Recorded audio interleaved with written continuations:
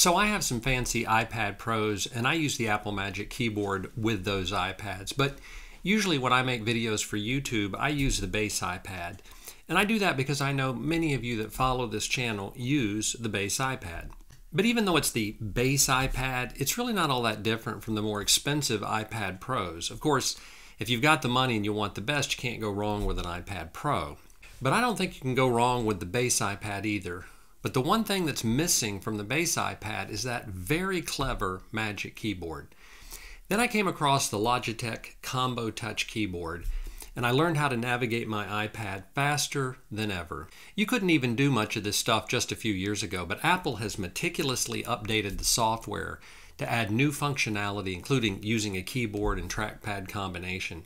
Honestly, it's like having a little laptop computer, only better because, you know, it's a tablet too. If you're a senior or beginner and want to learn how to use a keyboard trackpad and that ever popular pencil with your iPad, then stick around. This video is for you.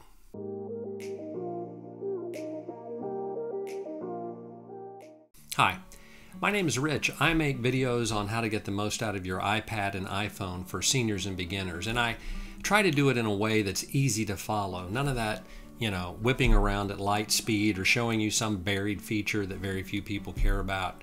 Just the facts, ma'am. And if you're a senior, you know what I mean by that. Hey, if you find this video helpful, please consider subscribing.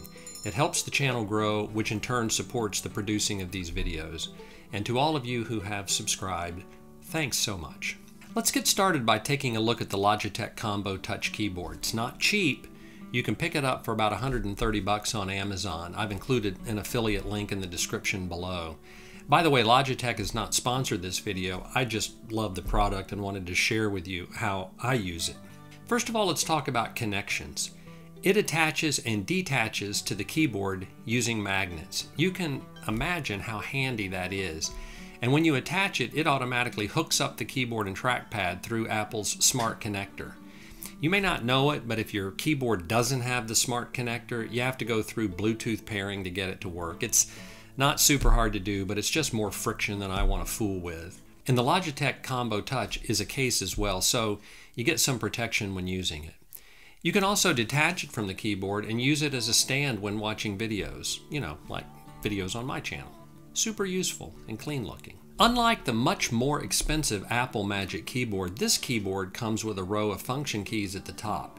Here you can control screen brightness, you can search for and open apps, you can control the volume of videos or music, and you can put the iPad to sleep.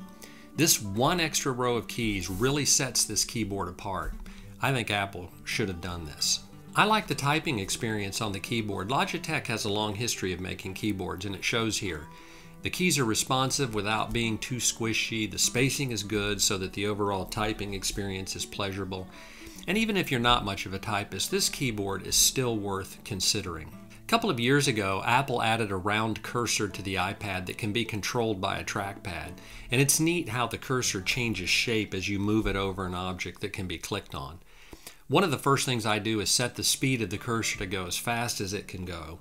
Not because I'm some speed demon, but just because I've gotten so used to using the trackpad. Of course, you can set it to whatever speed you're comfortable with.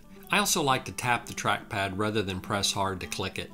And both of these settings can be turned on by going to Settings, General, and then Trackpad.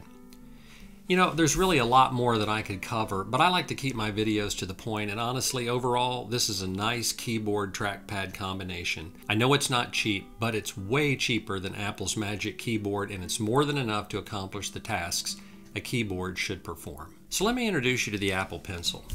If you'd prefer to take quick notes with a pencil rather than typing them out on a keyboard, then this thing is for you. Right now it's $89 on Amazon, affiliate link in the description below.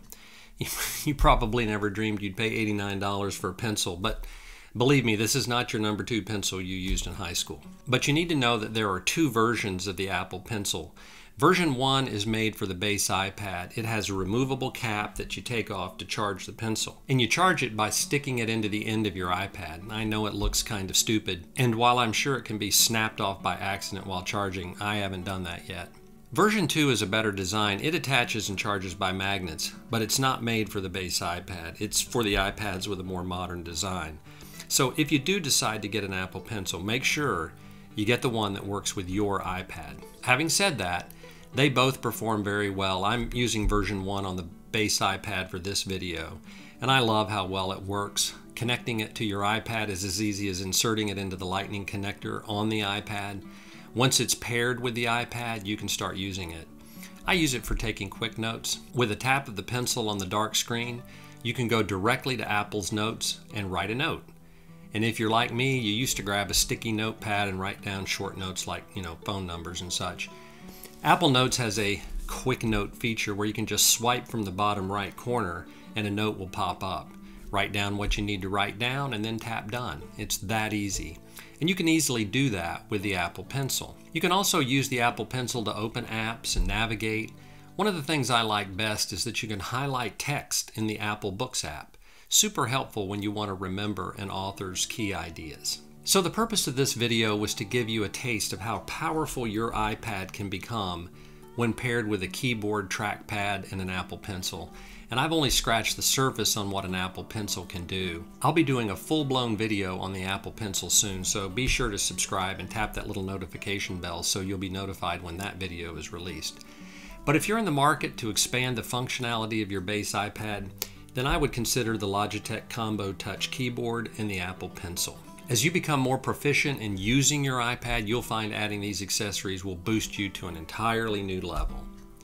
Well, as always, I want to thank you for watching. I hope you found these tips helpful, and I'll see you in the next video.